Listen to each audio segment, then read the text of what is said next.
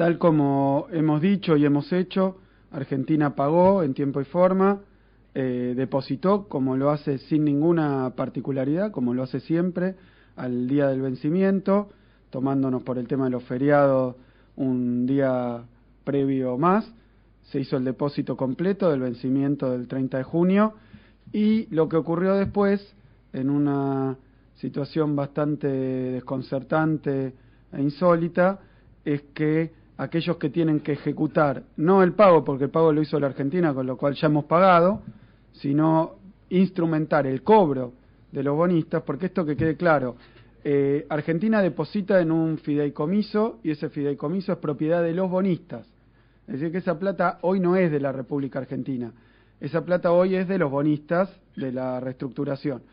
Ellos tenían que cobrar inmediatamente y al día en general tarda 24, 48 horas el proceso de distribución del dinero a través de diferentes mecanismos. El Banco de Nueva York se lo pasa al Banco de Nueva York de Luxemburgo eh, para los bonos que están en euro. Bueno, tiene cierta complejidad, pero no ocurrió.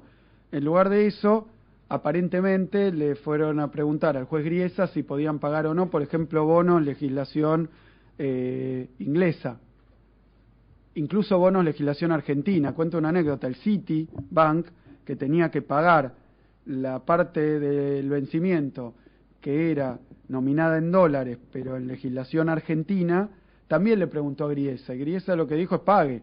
Ahora está, pero la verdad es que estamos desconcertados. Sabemos que los bancos le han preguntado al juez qué hacer, que Euroclear, que es la agencia de pago, también le ha preguntado al juez qué hacer y que a su vez los bonistas le han reclamado a las agencias que les dé su dinero.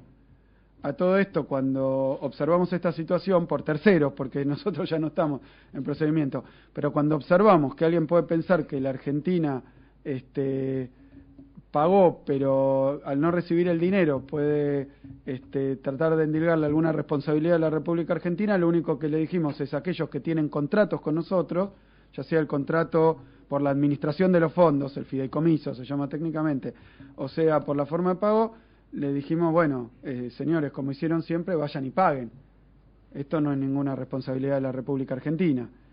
Eh, hasta ahí está la cuestión. Lo que, como, como decía ayer ante la OEA, la verdad es que es desconcertante, ¿no? Porque Argentina pagó, eh, nosotros decíamos, déjennos pagar, ya hemos pagado.